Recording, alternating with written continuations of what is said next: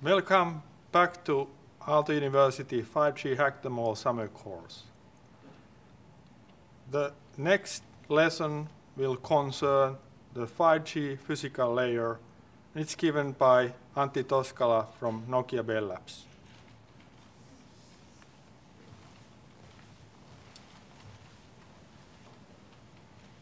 So welcome from my behalf as well to this course. So I said, my name is Antti Toskala, working here in Nokia Bell Labs in Espoo, Finland. And I will be entertaining you about the 5G physical layer today. So in today's presentation, we will cover what are the key 5G technology components. Uh, we will compare a bit that, okay, what's the difference between 3G, 4G, and 5G physical layer. We look at 5G spectrum and, and uh, related numerology. We look at the wave, discuss the waveform, and uh, in more details, then we go through the frame structures, channel coding, decoding, beamforming, MIMO, and finally, these uh, physical layer one channel structures. And then summary at the end. In most cases, we will focus and try to elaborate what's the difference to the previous generations, especially with uh, LTE and uh, commercial part of the presentation is on the side, this suggested additional reading material. So if you think about what are the key elements that make 5G different from what we have today uh, in, on the field on the 4G side. So first of all, we need to be able to address new spectrum resources because uh, we are having much more spectrum available as we go to the higher frequency bands. And, and that causes more flexibility and capability on the radio side. At the same time, the existing frequency bands, of course, that are deployed are not going anywhere, and there's a need to be able to reform those. Beamforming is another element which has been used to a certain extent in the previous generations, but now with 5G, it's, uh, it's exploited to the full extent from covering both control and data as, as, as well. Uh, further, if you think about this kind of slicing, flexibility, coming from the physical layer point of view that uh, you have much more freedom to configure the physical layer structures, which then allows to create, for example, carrier structures that would be very energy efficient if the network is not heavily loaded compared to LTE. And then the fourth, fourth element highlighting here impacting the radio is the multi-connectivity.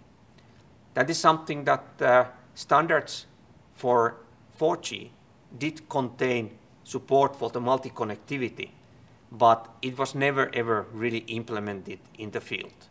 Now the very first 5G devices, all of them are designed to operate with this multi-connectivity, meaning that uh, you are running 5G and LTE simultaneously. So two transmitters, two receivers active on different radio technologies, which of course boosts the performance and capacity compared to single radio operation.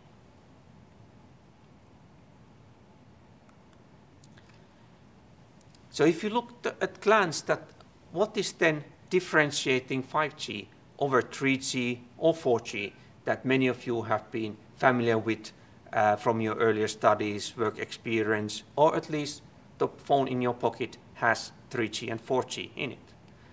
Uh, in 3G days, of course, uh, uh, the, way, the waveform multiple access, what is called code division multiple access, CDMA, with 4G, we moved to the use of OFDMA in downlink direction, and now with 5G, we have introduced that in the uplink direction as well, but still retaining the single carrier operation uh, in, in, in addition to that.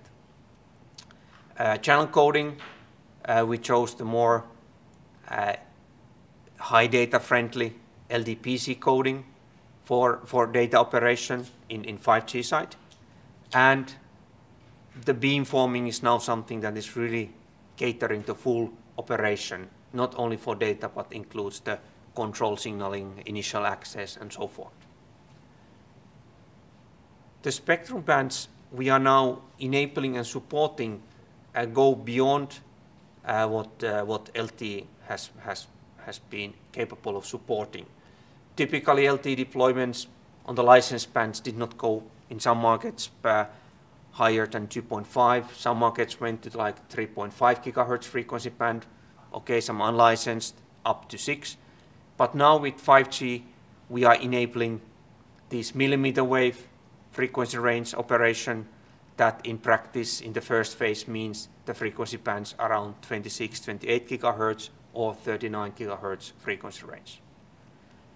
The resulting bandwidth is going from 20 megahertz bandwidth, then as a minimum, the, all the devices that support these uh, low frequency bands go to up to 100 megahertz, or if you go to millimeter wave, then is uh, 200 or even 400 megahertz. So depending on the, on the frequency range could be 5, 10 times, 20 times as that of LTE. So, so that will, the additional elements will bring more energy efficient network.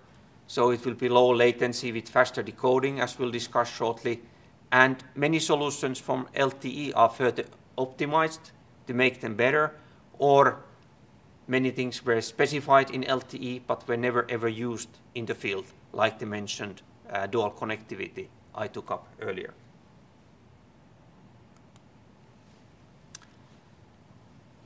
So spectrum point of view, the millimeter waves, uh, higher frequency bands, of course, changes the situation uh, from the practical deployment point of view. The antennas become small, and then we can create these kind of very narrow beams in our transmission, not anymore transmitting the full sector. Uh, if we compare these uh, centimeter waves, so lower frequency bands, there uh, the antennas are then, uh, then, uh, then, then larger and you cannot have that many antennas in, in, in practice. So the higher we go in the frequency, uh, you, you, you, you can use more antennas, uh, but there's of course also the practical desire to use more antennas because the signal attenuation increases, so you want to use the beamforming higher antenna gains to compensate for that one.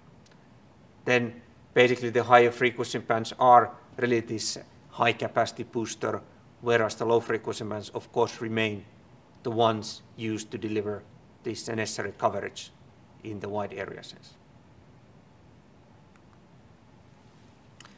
If we are looking at the frequency bands in the first phase, then um, uh, especially in the European market, this uh, 3.5 gigahertz range is, is in the highlight. So we are talking about, uh, in, in the standards term, we are talking about N77, N78 frequency bands, where operators in many markets typically get up to this 100 uh, megahertz of, uh, of, of bandwidth. And um, and that is also something that is uh, mandatory for devices to support. Uh, there are several existing LT bands that also are specified as 5G bands. On this millimeter wave range, um, in many markets, uh, those are still waiting to be taken into use or waiting also this kind of auctions to follow. So there, an operator could have maybe 400, 800, even up to 1 gigahertz of spectrum available. And that, of course, then creates a clear, uh, uh, clear uh, improvement in terms of what kind of data rates you can, you can make happen. On some markets, uh, uh, if you think about the 3.5, the operators will not always get 100 megahertz of spectrum. So they have to live with, uh, with the smaller smaller chunk in that case and don't get necessarily all the, all the maximum data rates, but in that case the dual connectivity with LT comes important because then you can aggregate the data rate between the LT bands.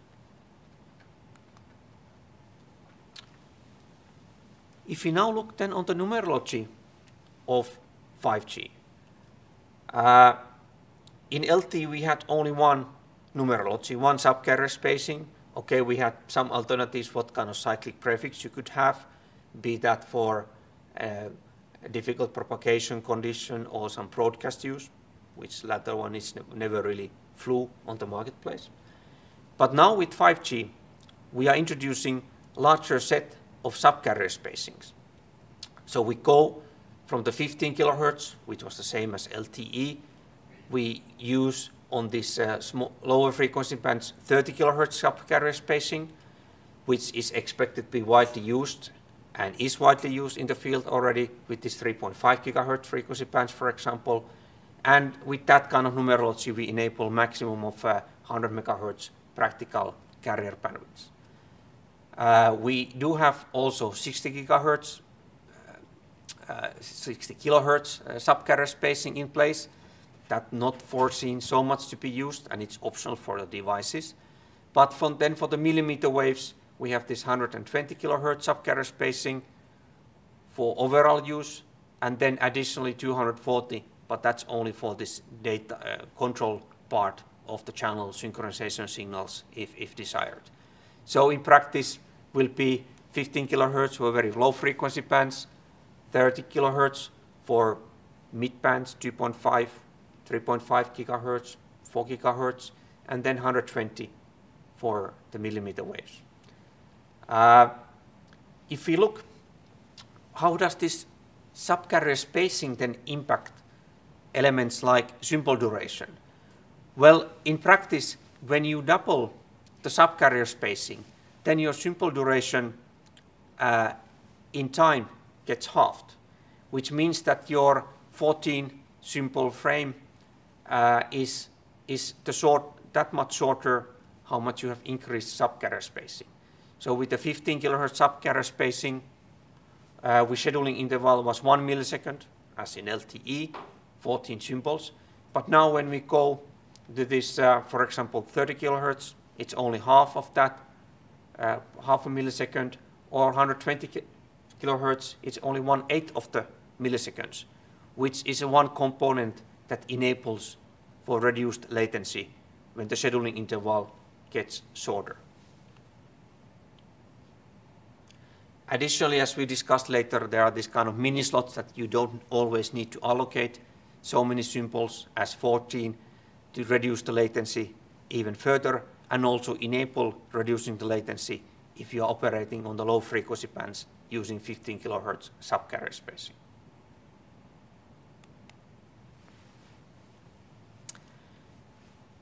Waveform is always an interesting topic when we start defining a new generation and often the topic of a uh, lot of debates. Do we keep something from the old or do we create something new? In this case, in, in downlink direction, it's OFDMA as in, uh, in, uh, in LTE. In uplink, LTE was using the single carrier uplink only to enable uh, high efficient, uh, uh, high power transmission where you have this low peak to average ratio, so you have a high amplifier efficiency. Now we have retained that, but have added also OFDMA, orthogonal frequency division multiple access there. The intention is that when you have enough power available, when you can use perhaps uh, multi-stream MIMO transmission, then you use OFDMA. That performs better in that kind of case. While when are you approaching the cell edge area, you are power limited, you cannot afford multi-stream transmission, then you would use the single carrier FDMA that allows to use low peak to average ratio and gets you maximum output from this power amplifier from the device. So power amplifier efficiency is indeed the key so that uh, you can uh, achieve low power consumption and also manage uh, with the device thermal design that you don't have to dissipate too much heat out of, out of the device because of amplifier as you anyway have a lot of other processing that cre creates a lot of heat inside the device. Uh, release 15 was that. Release 17, we are starting to look of this 60 to 71 gigahertz frequency band, which is certain extent unlicensed band used by some fixed links as well. Uh, part, partly uh, will be licensed frequency. So there we are looking to uh, add, add additional subcarrier spacings, even larger ones, because we have to fight the phase noise. As the higher we go in the frequency, the larger the phase noise goes. And uh, using too low subcarrier spacing would mean that these OFDMA subcarriers would be no longer orthogonal to each other. Release 18, we expect that uh, we will start investigating uh, how do we support even higher frequency bands, and there new waveforms become more likely. Because when you have larger and larger bandwidths uh, with, uh, with the OFDMA, huge number, number of subcarriers becomes impractical and is not very energy efficient way of then transmitting the signal. But that's something to be looked at later. In the standards, we have already developed the channel model up to 114 kilohertz, so this is where this number quoted here comes, but the release 18 work, of course, will only start sometime after, uh, after this year.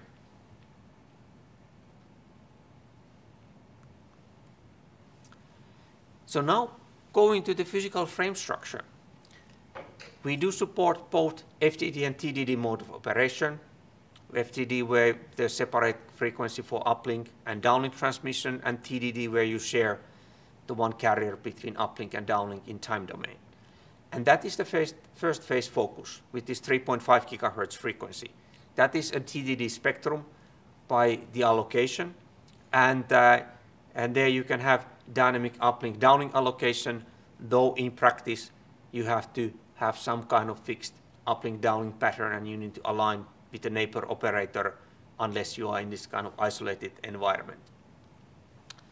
The frame structure has a clear difference to LTE because like you can see on the left hand side we have the LTE reference signals and they are scattered around in time and frequency domain inside the frame which means that when you are receiving the LT frame you first have to buffer the frame and only that you are able to uh, uh, create the channel estimate and start decoding the channel. The idea with the 5G channel structure is that in the beginning of the frame, you have the control signaling. After that comes the reference signals, and then the actual data symbols follow after that, which means that you can start the decoding process as soon as the data symbols start coming. No need to wait until end of the frame. It works that way as shown here on the right-hand side when the device velocity mobility is reasonable with the higher velocity environments, you need to add additional reference signals later to, as, as the channel would be changing too much during the frame.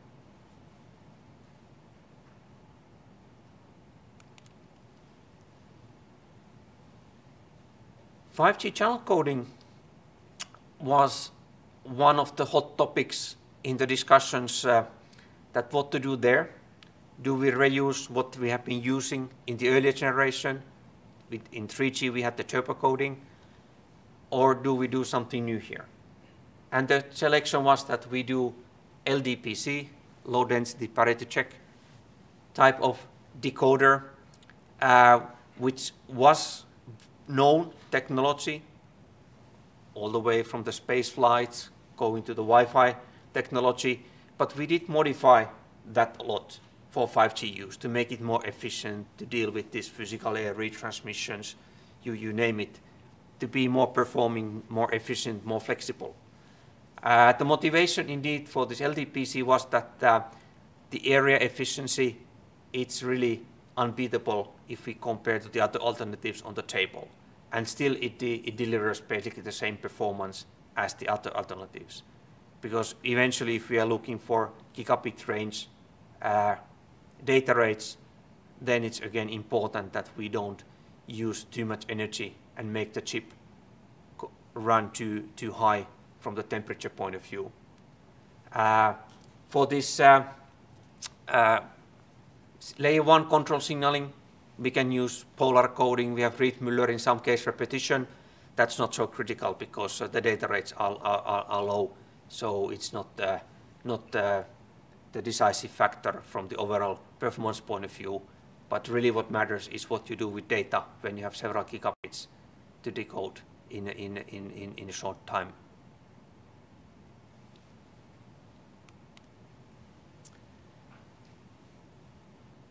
So now, if we compare the actual processing times with LTE, we can see that uh, with 5G, the requirement for device processing is such, it's really fast. But of course, we have to take into account that it was some 10 years ago when we specified LTE. So of course, the technology evolution has moved onwards as well. I have here the best example in that sense that it's an FDD example, that, uh, which means that I have uplink and downlink available all the time. And in this example, it's less than a slot when the data transmission have ended, when the device has decoded the data and is already able to send feedback in uplink direction, whether, that whether the packet was received correctly or not. And uh, this allows uh, then the base station to react fast and basically only three slots later to send in the fourth slot, then already retransmission if the previous packet transmission was failing. Or if it did not fail, then the new transmission would come. So when LT would be processing then these three full slots at the same time when 5G is getting already a retransmission, LT side would, is already only that point in time starting to send feedback in uplink direction to the base station, whether the packet was received uh, correctly or not. So there are multiple elements that really make it faster. Again, the faster decoding time is, is one of them. TDD adds some extra complexity and, and burden here because um, you don't have always uplink or downlink available. So you have to wait when you can send your feedback signaling and when, when again is the time to send the retransmission. So TDD operation adds more latency here, but TDD of course is typically used a little bit on the higher frequency bands where at least this uh, uh, scheduling interval is shorter, so it cuts down the value here.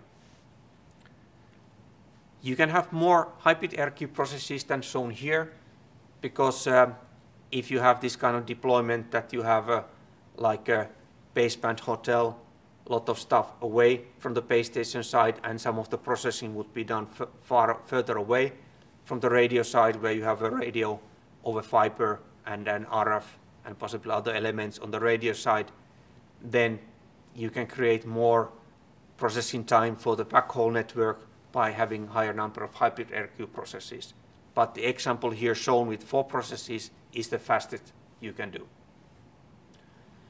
On the top right-hand corner, you can see some of the processing time requirements for the devices that how many symbols there is time.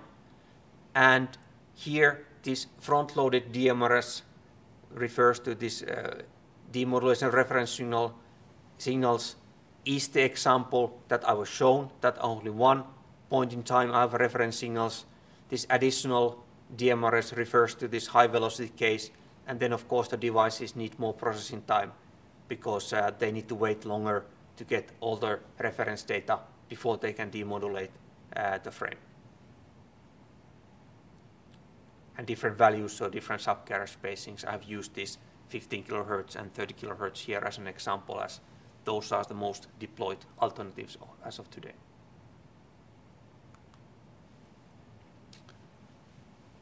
Minislot is one of the further concepts that uh, that uh, has been has been introduced in release 15. Um, that allows that uh, we can schedule less than 14 symbols, 7, 4, or down to 2 symbols to create really fast transmission that doesn't take long time. And this is especially relevant if you think about this uh, sub 1 gigahertz frequency range where we would be using this typically 15 kilohertz subcarrier spacing, normally one millisecond uh, scheduling interval. But now in that kind of environment, we can also cut the delay not only from a faster processing time, but also from this uh, shorter scheduling interval.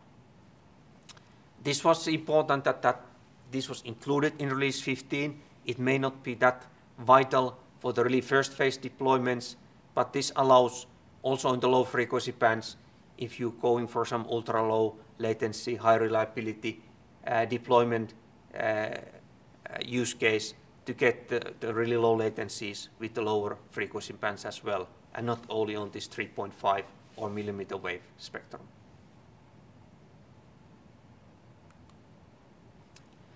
So then let's look the beamforming more. Uh, as I mentioned earlier, we can have much more antennas now, but, uh, but as, as the antenna size is smaller, then the relative size is not that different from the low band antennas. The antennas you see in the field as of today usually might be a little bit wider, but not, then not as tall as those uh, existing low frequency band antennas. And that's true both on the base station side and mobile side. Mobiles also, especially when you go to millimeter side, millimeter wave bands, they do have more than just one or two antennas. So they have uh, easily uh, two or even three set, set of patch antennas on the millimeter wave.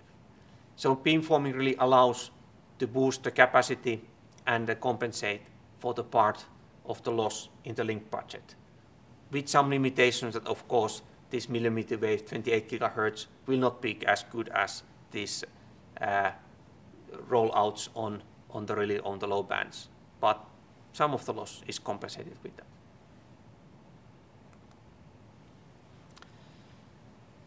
So now this beamforming operation uh, has been designed to take into account the fact that when you go to this kind of hybrid beamforming, which means that you have much more antenna elements than you have actually antenna ports, so it's partly digital, partly analog, that means that the base station can only transmit one beam direction, one antenna direction at a time, and the same way on the reception side which means that uh, this 5G will use on the layer one this kind of what I call beam sweep or beam switching that uh, you take turns and send the different beam directions at the time. First beam, beam 0, 1, so forth. The device will try to measure and decode all of the transmissions from all of the beams, which are otherwise more or less identical, but they of course contain the identification of the beam, the number of the beam in use, so that the device can then give a beam quality feedback which beam was best for me. Devices also have this kind of directivity at the millimeter wave operation, so that uh, uh, they can tell, uh, they can select set of antennas that is best suited for transmission towards the base station for various reasons, how the device is positioned, on my hand may be on top of the one set of antennas, so the device should be able to select another set of antennas in that case. If we look this uh, beamforming and MIMO multiple input, multiple output antenna operation, we have different kind of philosophies, approaches possible from the standard point of view. This shows a couple of perhaps a little bit simplified examples. The standard itself allows uh, different alternatives. One approach is that there's only one, the channel state information reference signal being sent, and basically device gives the feedback, feedback towards the base station, which then uh, calculates the antenna weights so that a good signal reception can be achieved by the base station. Other approach that, uh, like having multiple of these CSI where we combine basically this kind of beam selection with this uh, code book feedback, and uh, you select from the limited number of beams, as, as we are not operating yet on the millimeter waves, and then the base station then computes which kind of beam direction to use and, and selects the suitable code book and downlink transmission. The approach without feedback is this uh, SRS-based, sounding reference signal-based, where the idea is that because in TDD, it's the same part of the spectrum you use in uplink and downlink. So the idea is that uh, when the device sends towards the base station this kind of sounding reference signal, base station measures that in which part of the spectrum, for example, and then how do I receive that signal, and based on that calculates that what is the best way of sending towards to that base station, to that device in terms of which part of the spectrum and what kind of uh, uh, transmitter antenna weights to use. When we go to the millimeter waves, high frequency bands, then this hybrid beamforming, as I mentioned, kicks to the play. And depending, do we use single panel array or multi-panel array, there are different approaches we can take how, how to operate the system. In the single, single user MIMO situation, we would have this kind of one panel with cross-polarized antennas, and we would end up sending one beam at a time, and uh, using this cross-polarization, creating this two-stream MIMO transmission. The interesting impact of the high-frequency operation here is the fact that uh, we actually end up using low frequency bands, maybe two MIMO antennas and MIMO streams, mid bands, four MIMO antennas, MIMO streams. But when we go to very high frequencies, millimeter waves, we, the environment is such that we cannot create anymore so many independent transmissions for one device. So then we end up using uh, one, one stream or two stream MIMO transmission at most. Now the approach is that if we are able to introduce uh, multiple uh, of these uh, uh, of these panels in, in, in place, so then we can create this kind of multi-user MIMO operation with this multi-panel case.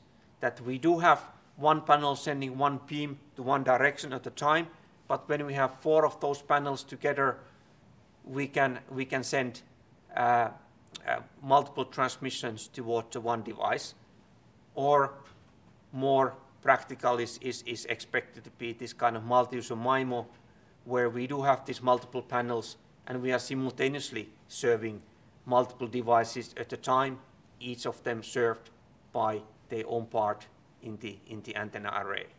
And that time increasing the maximum cell level peak data rate, but not increasing what is the maximum data rate for one given device. And the practical devices are not really expected to support this kind of A-stream, A-stream MIMO in the millimeter wave, but uh, that's why this multi-user MIMO is the one becoming the practical one.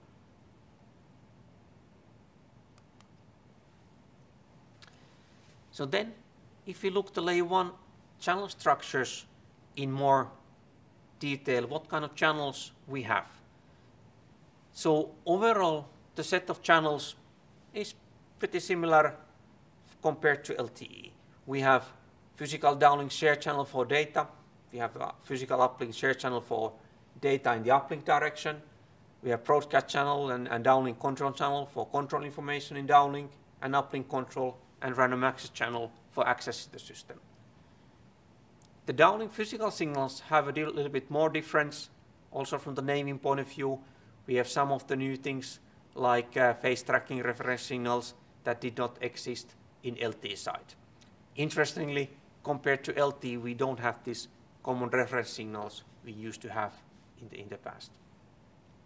Primary synchronization, secondary synchronization signals are those that you use to, search the network in the first phase, and those create this physical cell ID in the network.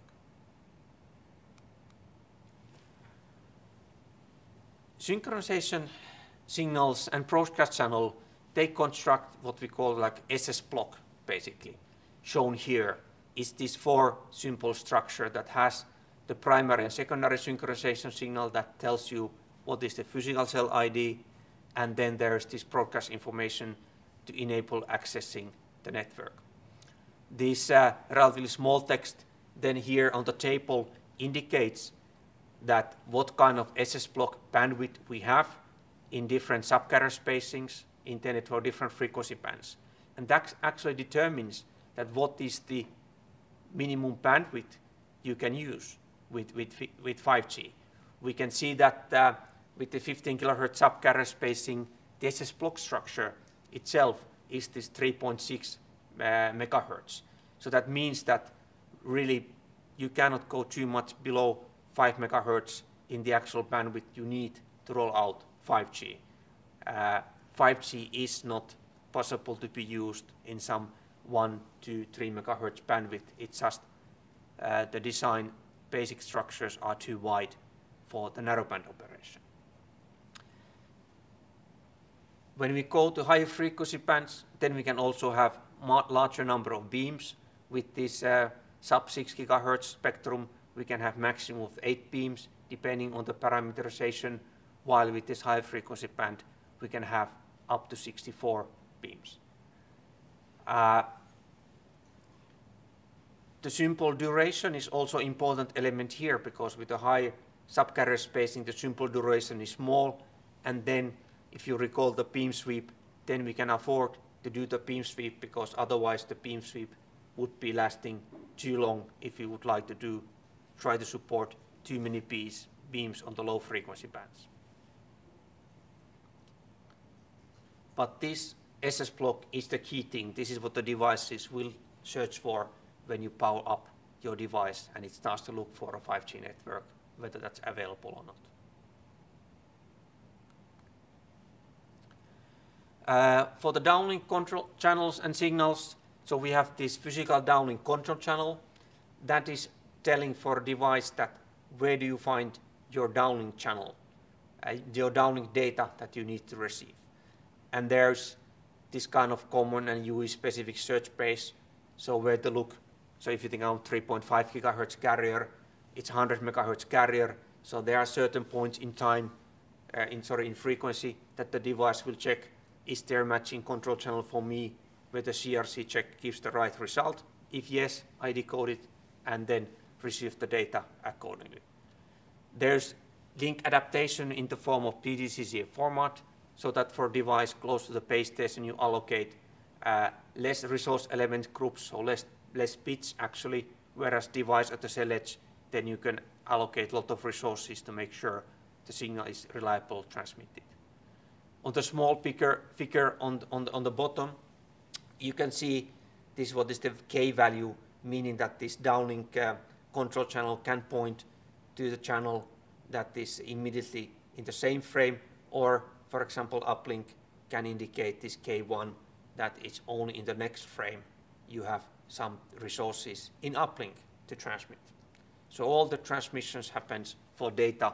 It's a scheduled operation always layer 1 control channel tells each device when it receives something or when it can transmit something in the uplink direction. Downlink share channel indeed follows, follows the control channel like shown here. There is this already mentioned demodulation reference signals and then the data that follows after that. Modulation range uh, runs until 256 QAM and maybe in the future we'll introduce still this uh, 1024 QAM uh, to the specifications.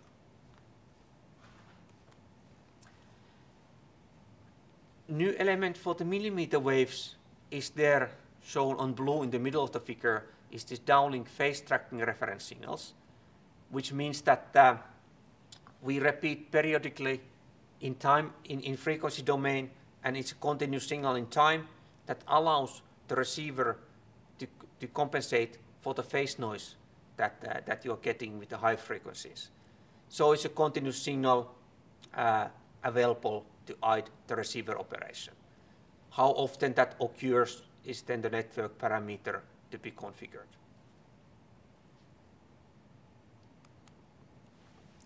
In uplink direction, we have this uplink share channel carrying all the user data in the uplink direction. And um, allocation is based, as shown earlier, on this physical downlink con control channel signaling. And here, indeed, we have the OFDMA possibility as well as the single carrier uh, uplink operation with this DFT spread OFDMA is often also the term used.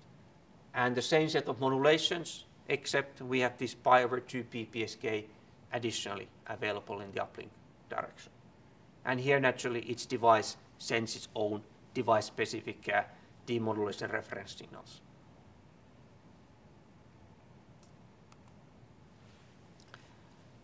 Physical uplink control channel is then one that carries the layer 1 control information in the uplink direction. Here also the devices can send this without scheduling as well. So that if there's no scheduling, uh, scheduled uplink transmission, it's the physical uplink control channel, the device sent the scheduling request, indicating that there's now data in the buffers to be transmitted. Depending how much data we have to transmit, we use either this polar coding or then Reed-Muller if we have less than 12 bits to be transmitted. And uh, depending how much data we have to transmit, short or format PUCCH format to be used. Besides this uh, feedback for hybrid ARQ, then here we send information in the uplink direction that what is a channel situation uh, that allows the base station operate with the link adaptation as well as selecting the correct rank, what kind of MIMO, uh, MIMO order to use. Is it one stream, two stream, four streams? And uh, select the correct uh, uh transmit uh, precoder in, in, in, in downlink MIMO operation as well.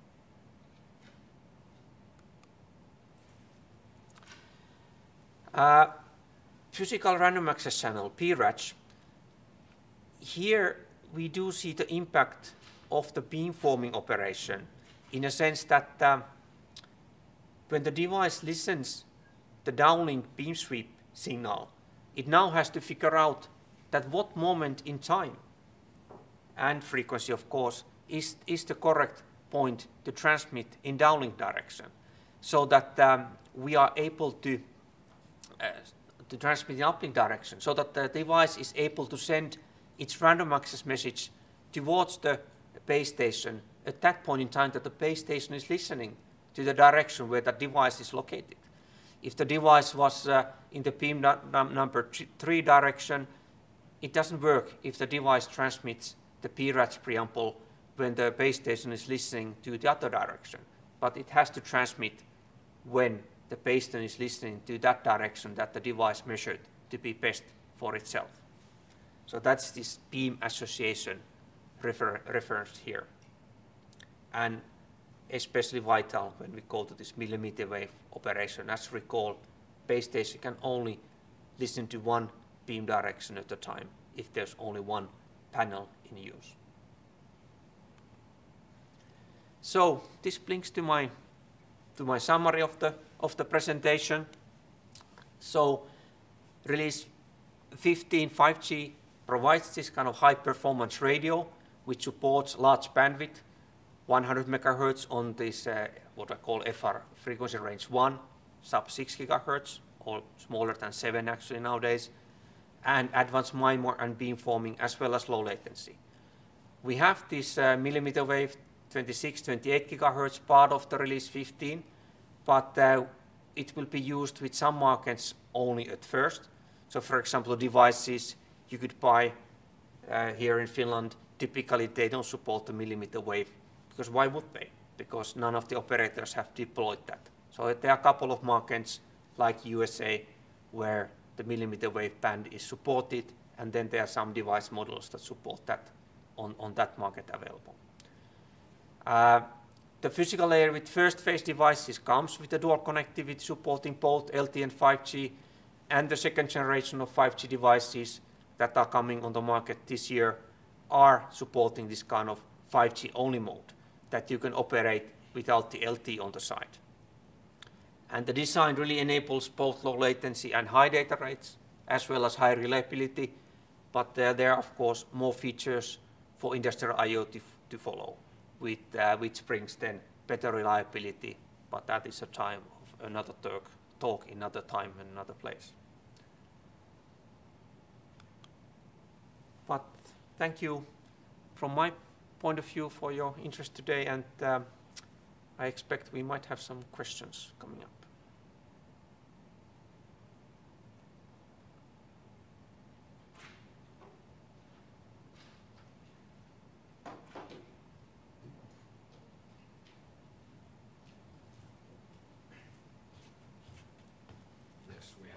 question here. Thank. If there's going to come more questions, they're going to update there. Yes, so FFT, yes, so FFT is indeed this uh, fast Fourier transform. So uh, that is what we are using in the traditionally in the OFDMA and also in the single carrier operation. And there we use FFT and IFFT to create the signal to the correct part of the spectrum.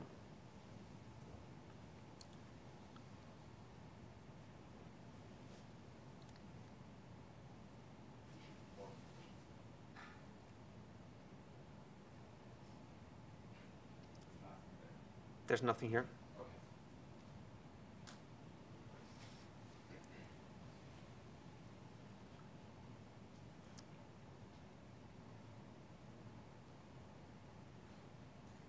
We do have some more questions. Just a second, we are getting them to you as we speak.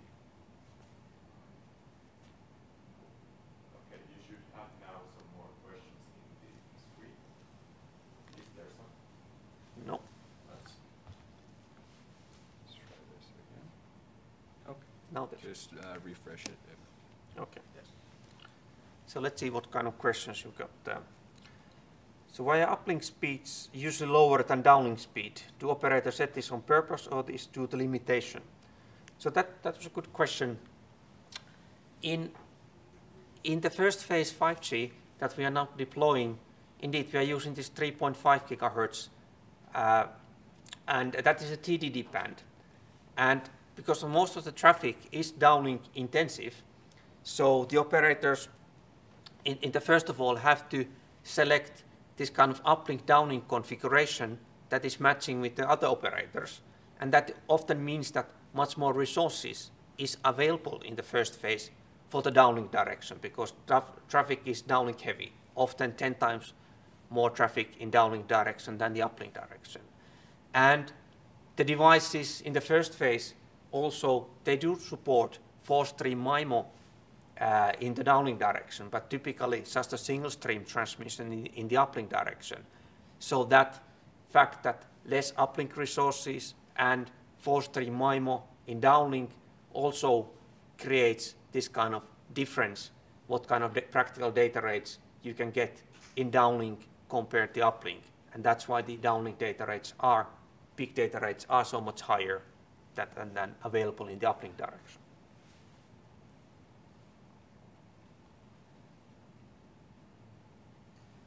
So about the 5G waveform and overheating, so meaning that um, that's why the wave, waveform, especially in the device transmission, is, is important.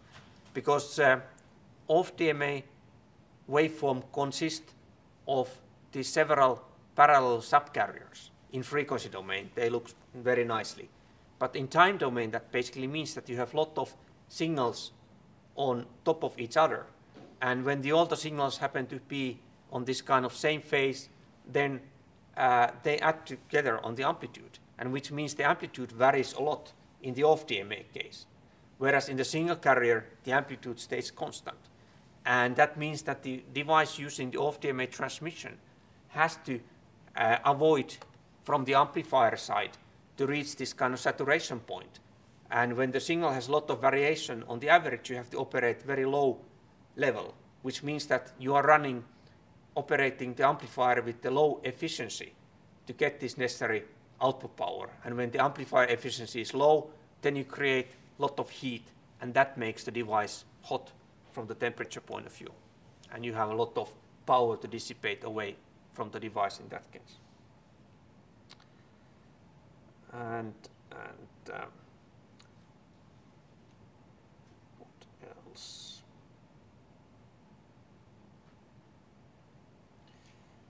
Uh, then about these use cases for augmented reality, uh, my, myself not been not dealing with uh, so much on the on the application layer, but uh, augmented reality, of course, uh, has has been considered that uh, there are two areas. One thing is this kind of like uh, like uh, if I take uh, industrial type of use cases, where one is, for example, uh, repairing some machinery, you could have uh, identification of the parts of the machine or instructions augmented to you. Other element is this kind of the consumer dimension, where that would include things like um, you are in a shop seeing some products, you would have this kind of classes or pointing pointing your camera towards that, and this product information would appear, maybe reviews, short videos about the product. Uh, and of course, then this kind of all this kind of other entertainment and gaming type of use cases, like like shown here. I do expect the pure virtual reality itself is more like a static, but this augmented reality, mixed reality, is, is, is something that is more suited also for this kind of real mobile use cases.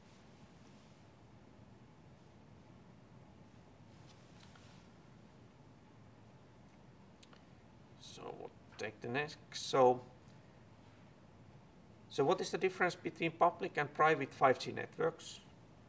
Is it something along the line of private and public internet or, or different? Uh, from the 5G point of view, we can have a like a private network in, in, in many ways. In, uh, in some countries, take Germany, or, uh, uh, or for example, I think Japan, Sweden, uh, part of this 3.5 gigahertz spectrum has been reserved for this kind of like industrial establishments that could set up a public network, private network, sorry, which means that that network could be using a specific part of the spectrum. But other approach is that uh, uh, we have also this uh, concept of non-public networks in release 16 version of the specification. There, somebody running a, a private network in an airport, for example, could lease part of the spectrum from an operator that owns the license, and network would have its own ID, and only those devices that belong to that uh, private network would be able to access that network. And the third approach is that uh, we, we could use with 5G the 5 gigahertz unlicensed spectrum. That's something also included now in release 16. And there, the 5G network could run on unlicensed spectrum, 5 gigahertz unlicensed spectrum, and of course then accepting only those devices that have the right to access that particle network that would be joining like their home, consider that as their home network. Same way, a little bit like a Wi-Fi would be that only some Wi-Fi networks, of course, accept only specific devices have access rights to the Wi-Fi network.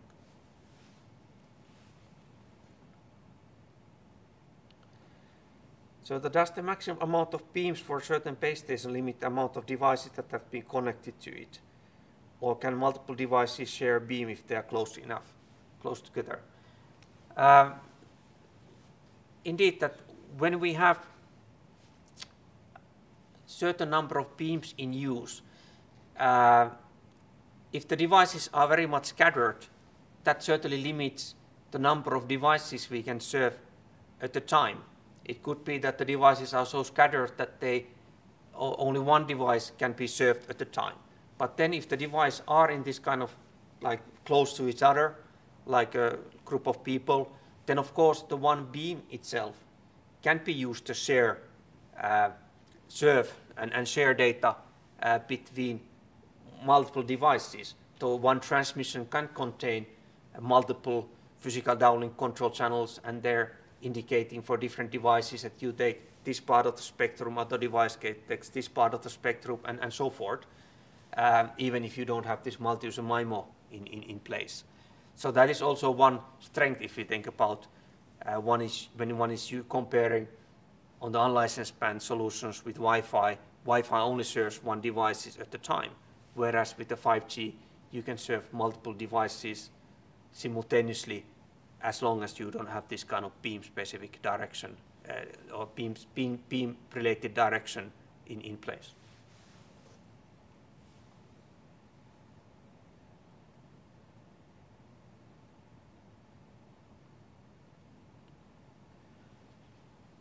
So then the question, can this high frequency 5G utilizes for loca location purposes? The same way as Wi-Fi round trip time. Um, we do have in release 15 actually, first phase, we don't include too much of this position location. We have things like cell ID and, and satellite assistance. But in release 16, we have included these approaches that uh, we can do this uh, position location and, uh, And then indeed, these millimeter waves are interesting because there you can take this uh, um, time, how long it takes for the signal to go, this timing advance basically from the device, as well as this beam direction, and, um, and the device-based measurement can have a very high resolution, of course, in time domain because the symbol duration is very short. So yes, this position location is, is part of the 5G, but it's not in the first phase release, but in the release 16. In the earlier releases, assume that we are using LTE for the position location, or then the satellite-based solutions. Then this is more how to guarantee, for example, enhanced mobile broadband in 5G core network lies if the core network is virtualized. I mean, is there any approaches for deploying the EPC components to guarantee enhanced mobile broadband? So when we have a pure 5G radio, as such, it doesn't, of course, connect to EPC, it connects to the 5G core. And this, this, uh, this slicing is, of course, only supported together with the 5G core. On, on the radio side, there's not much defined by the standards for ensuring the radio can reserve a certain amount of resources per particle slice, and it can identify from the signaling from the radio that, okay, this device become, belongs to the particle slice. But then it's more like scheduler implementation in the base station than how much resources and how strictly we, we reserve them for particle users, and then also for operator determination that uh, how do we define that is it a 10% of a capacity or is it some minimum data rate? What is the guaranteed set of resources for particle, particle type of traffic? But, uh, but it can be done, but a uh, lot of details depend on a particle implementation and not about, uh, not about standard itself.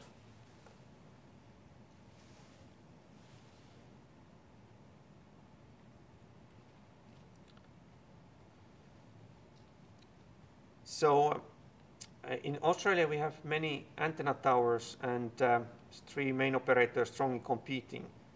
That may explain the community fear. Can these antenna towers get cleaned up so we can get beautiful antenna towers everywhere with 5G? Uh, indeed, 5G, uh, of course, itself will, will benefit from the, from the fact that if you have a big antenna tower itself and you can post, place the antenna high enough, then you do get good coverage from that. But uh, uh, when, when we go to this kind of uh, millimeter waves, when we do these hotspots, there of course we can do so that uh, some, in some cases the antennas could be actually very small to serve, for example, be these libra libraries, airports, hotspot, that they don't have to be uh, that huge. But if you want to cover it in a huge area, use a very low frequency band, there still, unfortunately, you don't get this rid of these big masts, unfortunately.